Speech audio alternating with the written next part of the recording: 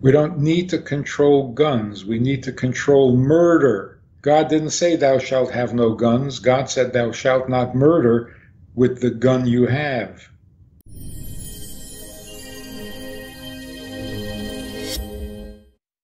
What was the original idolatry? You create something and then you worship it. Who created artificial intelligence? Why are you worshiping the uh, manufacture of your own hands? You create it and then worship it? That's such an old idea. I thought we outgrew that already.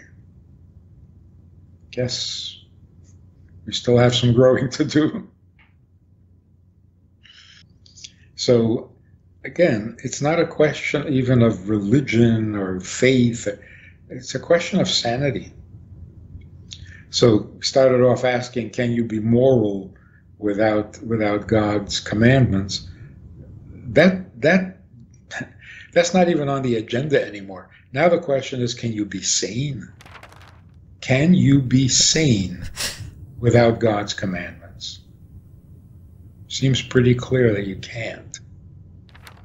And the only sanity that we have is because our grandfathers knew what God wanted. I don't know if they were committed to it, but they knew. So that sanity kind of passed on to the children and to the grandchildren, but it's fading quickly because if we don't have our own sanity, the inherited sanity is not going to carry us. So, whatever morality there is, like this guy says, I don't need God to tell me what's right and wrong. It's an arrogance college student. He says, I know right from wrong. I don't need God to tell me. I said, Really? Tell me, what, what do you think is wrong? He says, Murder. I said, Did you come up with that yourself? when, when did that come to you? When did you realize that? When did you have that epiphany? Don't be ridiculous. You heard that all your life. Everybody heard it because God said it to Adam and Eve and to Noah and to the Jewish people at Mount Sinai, and he engraved it in stone. Don't tell me it's your idea. So, whatever morality we do have, we simply plagiarized it. Now you claim it's your morality? Rabbi Friedman, speaking about killing, this is one of the biggest topics uh, out there right now. Um, uh, obviously, it has to do with um, shooting in um, Uvalde. And um, of course, everybody is now trying to get guns off the streets. Uh, in accordance to Torah, to morality, um, should people own guns? Should they have the right, like the Consti- American Constitution allows us to own a gun?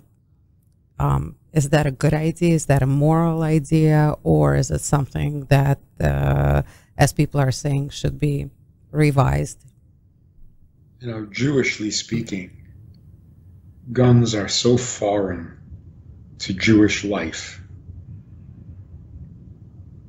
that we're we're kind of we're kind of biased in this. I, I don't know anybody who has a gun in in Brooklyn, of all places. Who who like oh every television show, every every movie, it's a perfectly normal family and everything, and then all of a sudden they reach into their drawer and take out their gun. So what what's a gun doing there? Guns are just part of part of the furniture. Everybody has a gun. What is that? Do you have a right to own a gun? Absolutely. Absolutely.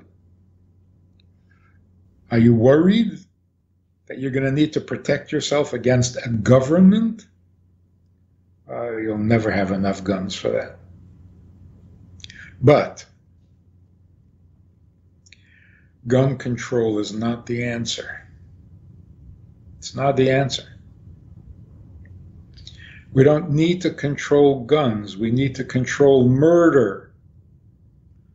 God didn't say, Thou shalt have no guns. God said, Thou shalt not murder with the gun you have.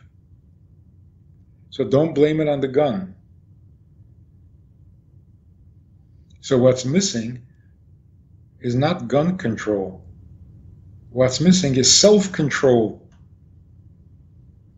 And, and this, this last shooting is particularly disturbing because, because of the fact that he killed his grandmother. The one person in his world, in his life, who loved him and took care of him and was there for him was his grandmother. And he shot her. And he himself very cold bloodedly says, I had nothing against my grandmother, but I needed the numbers. I needed to kill more and more people, so I needed the numbers, so I killed her. Now that is deeply disturbing. First of all, the fact that there's no conscience. And secondly, that he actually was looking to be proud of how many people he killed. He he holds the record now. Something to be proud of. I don't know if people notice, but they should. What he was doing was playing a video game. That's what he was doing. He was acting out a video game. What is the objective in the video game? Shoot as many people as you can. That's exactly what he was doing. He became a video game. And all the experts who say that those violent video games don't affect children, they should all be in jail. They, they are the ones who are responsible, not the kids. So if you grow up, and that's the one thing they all have in common, by the way, all the school shooters, they're all young and they're all addicted to video games. That is not a coincidence. I mean, you, you almost can't even hold them responsible. Beside the fact that they're underage. But even if they're 18, which this guy was, is he responsible? I don't think so. I think he's a victim. Rabbi Friedman, but it looks like we're going um, towards that as well because of the metaverse. Now, the metaverse creates uh, people and they become avatars of their own uh, computer games. So they actually are becoming those characters in computer games and how easy is it to uh, lose, lose uh, perspective of reality, whether you're inside a video game or you're no longer inside a video game. I mean, if, if people are getting confused before, before they actually had their own character in the video game, what are we looking forward to over here? I, I wouldn't be surprised if in the mind of this 18 year old, all those people are going to get up, push the reset button, and start all over again and shoot them again. I'm not a psychiatrist, but I, am quite convinced that that is what's going on in the brain of many of these addicted kids. That you can shoot a bunch of people, and then you kind of rack up some number, some some and then and then you push start and you start all over again. I'm not sure he even knows that he killed people. He knows he shot them. So that that that it's not damaging is such a blatant and callous lie. We need the wisdom of Torah because there is no other. Rabbi Friedman, why is it taking people so long to um, see the reality, to understand understand where we're at right now? I mean, people are waking up. There is no doubt about it. I'm not sure they're still hopeful that uh, you know we're going to become Republican, that you know, there's going to be different government, different set of rules. Somebody's going to come.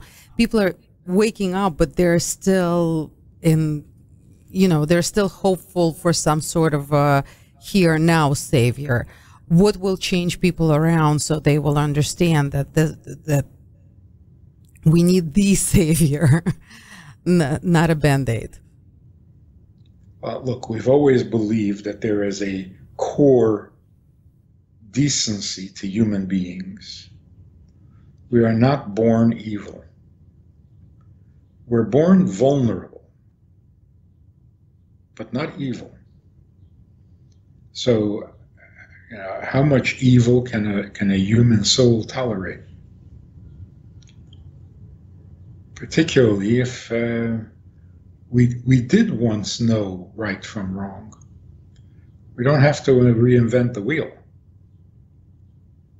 So it, there's going to be there's going to be a, a backlash. Uh, the pendulum will swing in the opposite direction, as it always does.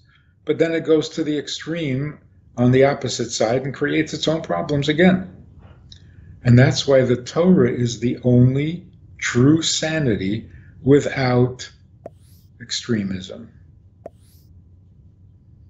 Anybody who anybody who studies the Torah with any with any seriousness, with any can't can't can't come away without the conviction that this is sanity. It's not extreme right, it's not extreme left. It's sanity. And it also happens to be godly. Surprise, surprise. Speaking of good news, there's a wonderful retreat coming up, the National Jewish Retreat, run by the JLI, Jewish Learning Institute. It's going to be August 9th through the 14th in the Miami area, in a five star hotel. Best speakers, best lectures, best classes, best accommodations, and best food. So if you have those five days free, or any one of those five days free, think about joining us. It's going to be great for body and soul. And there's actually a discount if you put my initials in there, RMF. There's a little discount for those who are already committed, already studying, already interested. Google it, look it up, Jewish Retreat, JLI. And uh, hopefully we'll see you there. If you enjoyed this conversation or this topic and you're looking for more information or you want to hear it again from another angle, there is a way to do that. And that is in this book. It's all there. Order it from Amazon. You can read it, reread it, and share it. I want to invite you to join us as VIPs, partners in our work and join us also for uh, a personal chat with other members of the VIP club. We talk about many things. There's an opportunity to ask, to respond, to make a comment, to meet the other supporters. And together we can really make a difference in Jewish life and in life in general. So join us. It's good to know org. Log in, call, make contact, and join us with the VIPs.